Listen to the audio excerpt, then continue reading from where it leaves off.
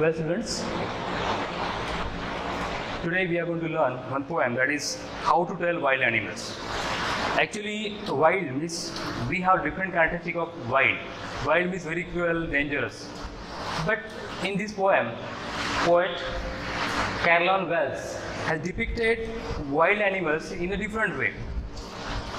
Actually, in this poem, he has certain explanation about each and every animal in a humorous way. We will see that. But basically, when we think about the wild animal, we think about that it's a very dangerous. When any small kid is not going to sleep, that we say that uh, sleep, uh, sleep, otherwise tiger will come and he will eat up you. So we have certain uh, different images about the tiger, lion, bear, elephant, many animals. So we uh, dare not to go in jungle because we feel these animals are there and they will eat up first. So today we are going to learn this poem that is how to tell wild animals. which is written by Carolyn Wells who was uh, who was born on 18 June 19, 1862 in USA. She is American poet and she has written many uh, English novels. She is a great writer. She has uh, parted in many films also. So these humorous poems suggest that how dangerous ways to identify for tell wild animals. Here is the explanation of wild animals in a different way. Actually, this poem is related to our society. With the help of this animal, poet wanted to poetess wanted to uh, relate to our different characteristic of the society. So here in this poem, poet has given uh, taken example of the lion, then uh, tiger, then leopard, then bear, then lizard, you can say, and then crocodile, then hyenas, and chameleon.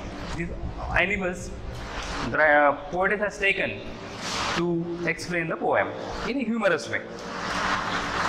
In this poem, poet poet wanted to tell the characteristic of the wild animal. So we'll go line by line. How to tell wild animals? If you ever should go by chance to jungle in the east, and if there should to you advance a large and tiny beast, if he roars at you as you are dying, you will know it is the Asian lion. So in this stanza, poet wanted to uh, tell us that if ever you should go by chance to jungle, if you if you go to jungle in each direction, surely we know very well to the uh, east direction we get the lion, and if you if there should you uh, have advance, advance means attack a large and tiny beast. Tiny beast what? Of tiny means yellowish brown color one animal that is surely lion, and a large tawny beast. If he roars at you as you are dying, and if he only merely roar at you, you will get die. You will feel to die. It means that that much uh, danger that animal is, and that is which animal? Then you will know it is the Asian lion. So in the first stanza, poetess has described about the Asian lion. What has she said here? That if you go to the forest in the east direction, and if you have seen one of the large tiny beast, means brown, yellow, uh, brown color animal has come at you, advance at you, then and he roars in a very huge sound, surely by the sound, by the roaring, you will die. That is Asian lion. So in this stanza, poetess has talked about, explained the features of lion. So we see in the society such type of people who roars, and by the roar, some people become so scared and they die. They do anything. They just uh, they kill their own identity and they do whatever that particular person says. So here, lion and one of the very aggressive man or aggressive person, character, human being in the society has been related here. Second stanza, or if some time when roaming around, a noble wild beast greets you with black stripe on yellow ground. Just notice if he eats up, eats you. This simple rule may help you to learn the Bengal tiger discern. In the first stanza, poetess has depicted the character of the lion. Here, what she has suggested that lion by the roar also any human being can die. In the second stanza, poetess wanted to talk about the Bengal tiger. Or if sometimes when roaming around, a noble wild beast greets you. If you go in jungle and you are roaming here and there, then one noble, noble is a very royal. You know that if you see the tiger, we have certain great attraction towards tiger. Why? Because it is very majestic animal. And he is a noble. Poet has described him as a noble animal, royal animal. Wild beast you greet with the black stripe. You know very well that tiger has yellowish background with black stripe on his body. So with black stripe on yellow ground, yellow ground means his height. And on that height, yellow height, there is a black stripe. Just notice if it's you and if that particular animal will eat you, you have to understand it is a tiger. Okay. In the first stanza, suppose that particular beast will roar very loudly and if you will die, then it is a lion. And here in the second stanza, yellowish brown, sorry, yellow color background and on that black stripe then and he will eat you. If he eats you, then he is a tiger. The simple rule may help you to learn the Bengal tiger to discuss, to identify, discuss what? are given here listen, listen is what? Make out or identify. If that particular animal will eat you, then you have to understand this is a Bengal tiger. So we have learned about the lion, Asiatic lion, Asian lion, and second, in the second stanza we have learned about the Bengal tiger. Third one is if strolling forth. Strolling means what? Given here, strolling means walking casually. If you are walking casually in the jungle and a beast you view, if you have seen any view, uh, any beast, if strolling for the beast you view, whose hide with the spot is papered, as soon as, as he leapt on you, you will know it is the leopard. It will do no good to roar with pain, he will only leap and leap again. Third stanza, what poet says here? If strolling forth a beast you view, if any beast strolling forth is coming forward towards you, whose hide with the spots is papered. Papered means what? Covered with spots. The beast you see who is advancing towards you and has spot on his whole body as soon as he has leapt on you, leapt means jump. You know that leopard always jumps on his its prey. You will know it is a leopard. So suppose you have certain kind of animal in front of you who is leaping, who is jumping at you as well as has his body totally covered with the spots, then it is a leopard. It will do no good to roar with pain. If you are roaring, if you are paining, if you are just screaming with the pain, he will not listen you. He will again jump on you till you die. So in the third stanza, poetess has told about the leopard. You know that certain characters in the society.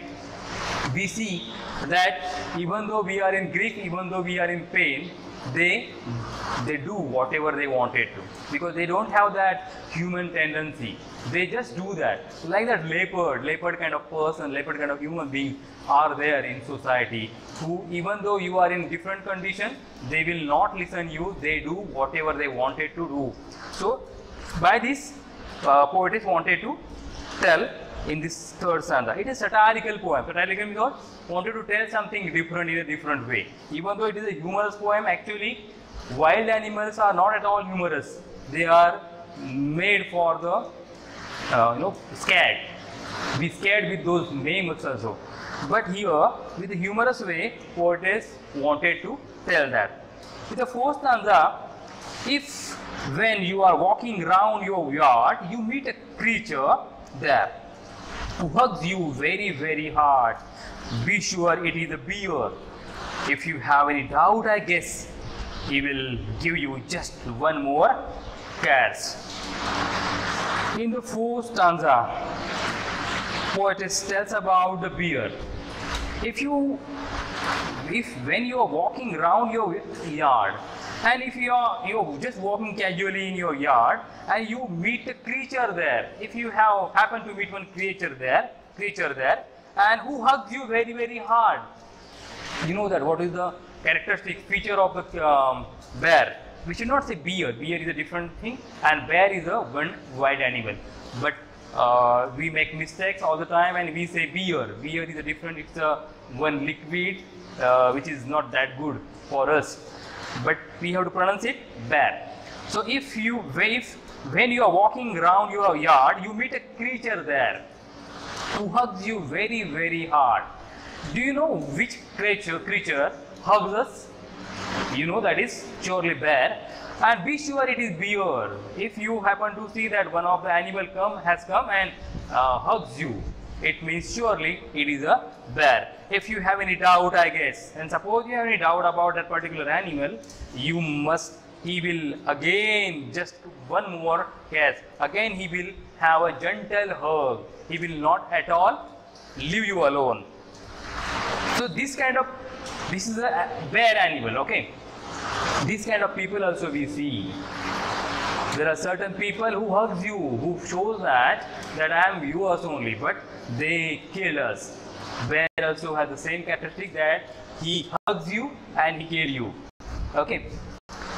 The next answer poetess has said, though to distinguish beast of prey, a novice might nonplus. The crocodile you always may tell from the hyena thus. Hyenas come with merry smiles, but if they weep, they are crocodiles. So in the second last stanza of the poem, poets wanted, poet wanted to say, say that though a distinguished, uh, distinguished beast of prey, beast of prey means what?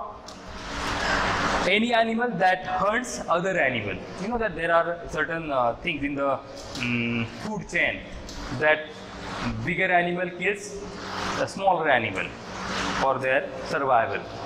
So if you want to understand that, if you are novice, novice means what? Someone who is new for a job, to understand that. If you are certain, uh, distinguish means what? Differentiate. If you want to differentiate about the beast of prey, for example, suppose tiger uh, kills deer for his food, it means who is the prey, uh, beast? Tiger is the uh, beast, uh, beast and prey the deer.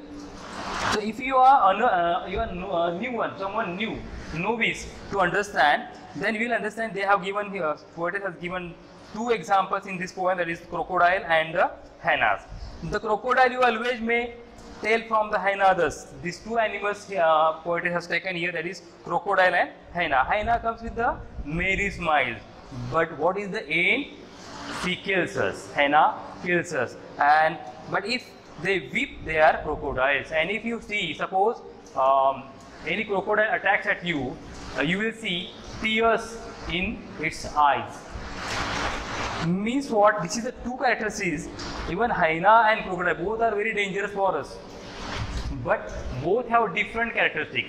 Hyenas comes with the smile and crocodiles when it kills anything, when it kills, kills any human being or any living being, it has certain tears in its eyes. So such type of people also we see, such type of person also we see in society. Though those comes with a smiley face, but what it does, they do something wrong with us, and we never believe in that. And certain some has eye, some has um, tears in eyes, in their eyes, but they always do something wrong with us. This that uh, poet poet has been told here. In the last stanza. The true chameleon, chameleon is small, a bizarre sort of thing. It hasn't any ears at all and not a single wing. If there is nothing on the tree, it is the chameleon you see. So you who know very well chameleon. A true chameleon is very small. It is looking like a lizard. It's from lizard, lizard category. It's looking so small, it doesn't have any ears or wings. But what is the greatest thing about the chameleon? It has certain ability to change the color according to surrounding. If you see if there is nothing on the tree, it means surely there is a chameleon on the tree. We see certain type of people in our society. They change their color anytime. And they even though they do something different but they never be found there. So they always change their color. So with the help of this animal we have seen lion bengal tiger the leopard then we have seen bear then hyenas and uh, crocodile and last one we have seen chameleon these all animals poetess Wells has depicted well in a humorous way. And poets wanted to convey such type of people are there in our society. So we have to be very careful about this. So in this poem we have seen uh, which line scheme? If you see that uh, first stanza if ever you should go by chance chance to jungle in the east and if there should uh, to you advance a large and tiny beast if he roars at you as you are dying, you will know it is the Asian lion. So in the first line chance, second line east, again third line advance. So chance and advance. So what will be the rhyming scheme? So first line is, we'll see that chance.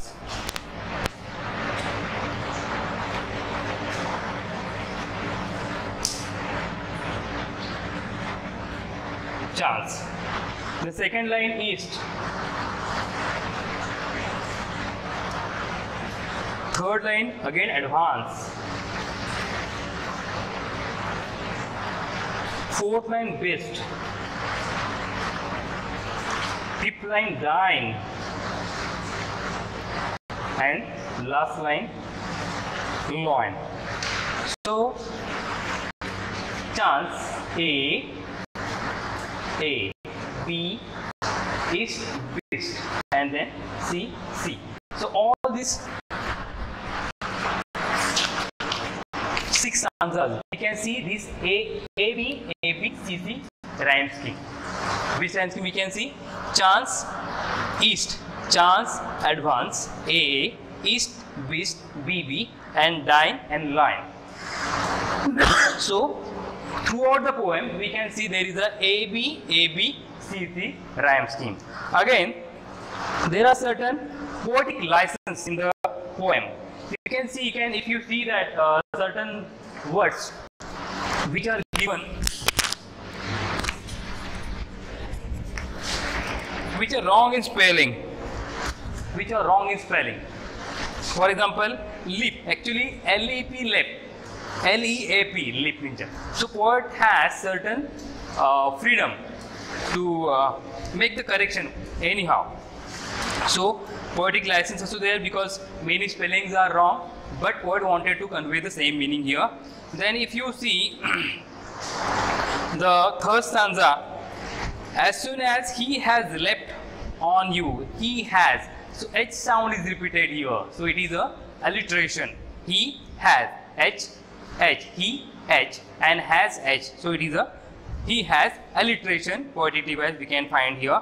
Then in the last line of the third stanza, he will only leap and leap again. So L-E-P leap, L-E-P leap. So these two leap leap word is repeated again. So here repetition device figure of speech is being used here. So this is what the poem we have learned today how to tell wild animal. It is a satirical poem where poet has made some satire about the human being and he has depicted some character of the human being of the society with the help of these all lion, then Bengal tiger, then uh, leopard, bear, chameleon, crocodile and hyenas. Okay, so hope you have understood this poem. Thank you.